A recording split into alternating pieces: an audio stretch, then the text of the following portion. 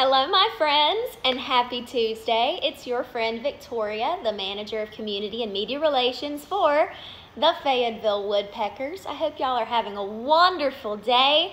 It's 2 o'clock, so y'all know what it means. That means that it is story time at home with the Fayetteville Woodpeckers. I hope all of you are doing wonderful and that your families are safe and well and enjoying entering into stage two of reopening North Carolina. For all of our fans and friends who are outside of North Carolina, I hope that you guys are all safe and well. And thank you for joining us. I see everybody coming. Hello. I'm sending waves out to everybody. We've had a very busy day with the Fayetteville Woodpeckers. As you all know, only essential workers are going in and out of the stadium. There's a lot of work that's happening right now in the plaza up ahead of our stadium. So it's going to be absolutely beautiful. The asphalt has been laid leading up from Hay Street to the front steps and gates of Segra Stadium. So y'all are going to have a beautiful place to walk up to the gates when we open them, hopefully very, very soon, so that we can all be together and enjoy being Woodpeckers Nation once again. So in honor of today's story time, did you guys enjoy last week? Week, I know you did because our general manager, David Lane, did such a fantastic job reading to you one of his little boy's favorites. And I love it whenever we get to meet new members of our staff and introduce you guys to them with story time because we really are blessed to have the best front office staff in the nation. I know I'm biased, but I think I'm right. So today I'm going to read to you another classic that I think that you guys might have heard of. It was certainly one that I frequently read when I was smaller, but it really taught me and reminded me that it's really important to love your toys. So I think you might know what I'm talking about. The Velveteen Rabbit. Give me a like or a wave or a heart if you've read this one before.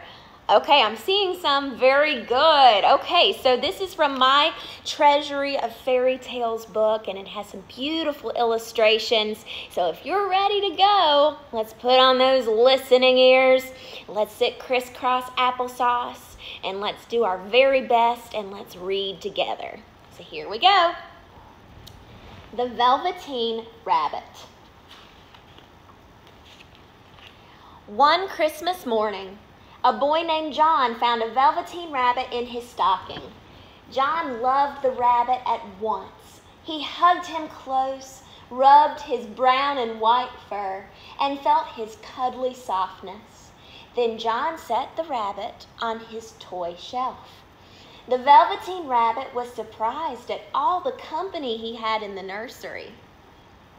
There were a wooden, wooden lion on wheels, a troop of metal toy soldiers, mechanical boats, a family of clowns, and a large, worn rocking horse.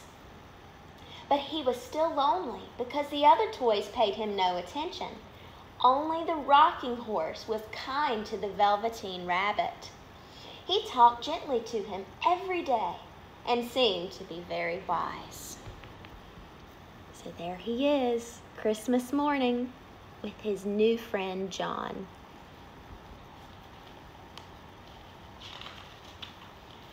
You seem so real, the rabbit told the horse one day.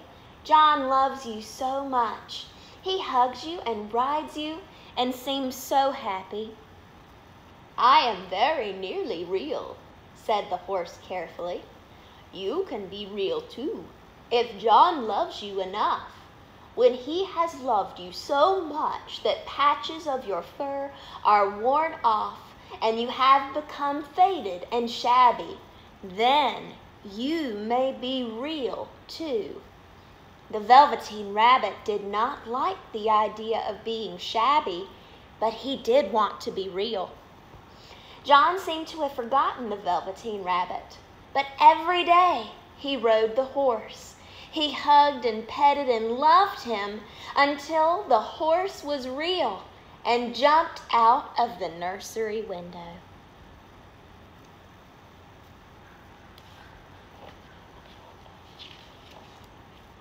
One night, John was restless and couldn't go to sleep. He kept begging his mother for one more story. I've had a few nights like that. Finally, she picked up the Velveteen Rabbit from the shelf and said, Here, take your toy. He will help you to sleep. John hugged the soft rabbit close and fell asleep. After that, the Velveteen Rabbit always slept in the warm bed with John, and he was no longer lonely. Sometimes John squeezed him so tightly the rabbit could barely breathe. John talked to him and made him tunnels under the covers like burrows that real rabbits lived in. The Velveteen Rabbit liked that and wondered if he would ever become real. Time passed, and the rabbit did not notice how his beautiful velveteen fur had become worn in spots. His tail was loose, and all the pink was worn off of his nose where John had kissed him. Spring came, then summer. John took the rabbit outside to play in the grass and the sandbox. The sand made the rabbit's fur more drab and shabby than ever. Under the but once ah, let me back up. Here we go. Once the boy forgot and left the velveteen rabbit under the zinnia row in the garden. His father had to search the garden with his flashlight until he found the rabbit because John could not go to sleep without him. My, my, said his father. Such fuss over a toy. John clasped the warm rabbit tightly. He isn't a toy, he said. He's real. The Velveteen Rabbit heard this and he snuggled close to John with joy in his heart. One moment, or one morning, John was feeling ill. When the Velveteen Rabbit laid close to him, he could feel how hot the boy's skin was. John talked in his sleep, and strange people came in and out of the nursery. The Velveteen Rabbit crept into the burrows of the bedding and stayed hidden, but close to John. He knew John needed him now. It was a long, sad time. John was too ill to play with the Velveteen Rabbit, but the shabby little toy remembered all their happy times together and laid close by. Finally, the fever went away. John sat up in bed and cuddled the Velveteen Rabbit once again. His mother and father came into the room with a strange man they called the doctor. He can get up now, said the doctor, and you should clean and spray the room for germs. That sounds about like what we're going through now, isn't it? Get the Lysol. And get rid of that stuffed animal, he ordered. It's a mass of germs. Get John a new one. The Velveteen Rabbit could not believe what he had heard. He was real. The boy said so. But still, it happened. The Velveteen Rabbit was picked up, carried out, and tossed onto the rubbish heap with old picture books and broken toys. Oh no, what does this mean for the Velveteen Rabbit?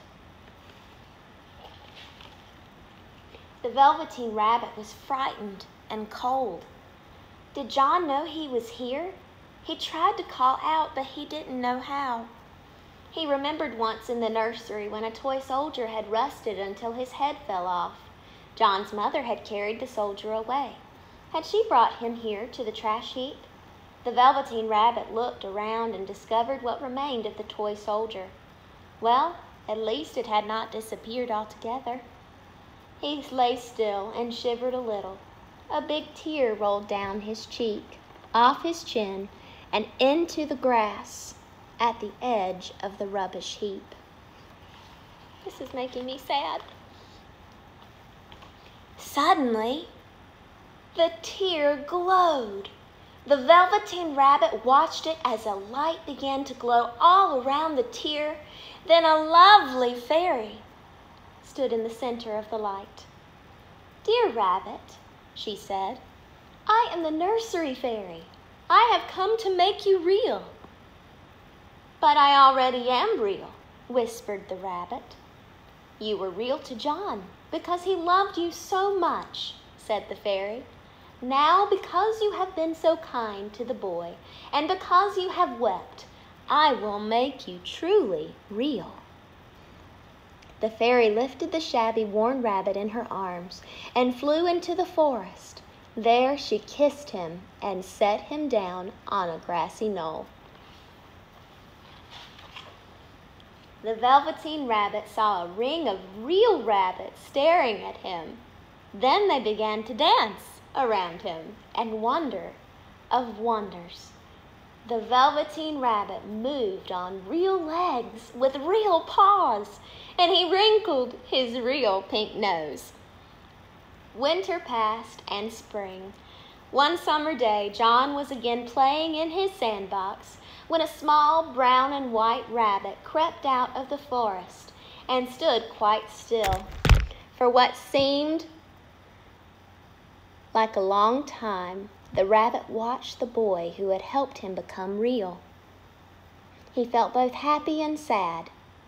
Then the rabbit turned on his hind legs and hopped back into the forest to return to his new life. The end. I love that story. I don't know about you, but there are some of my toys that were very, very special to me that I have saved so that hopefully in the future, whenever I have children, I can pass them down to them. So always, always, always love on your toys because who knows? They might just become real like the Velveteen Rabbit. And what's real to us right now is how much we miss each and every one of you. Thank you for all of the support that you have been sharing with the Fayetteville Woodpeckers. We hope you've been enjoying the content that we've been putting out. Continue to support us through our retail store and through all of the different opportunities that we're going to be coming live very soon. So make sure that you stay locked in with the Fayetteville Woodpeckers social media. Watch us for updates. Turn on the notifications on your phone.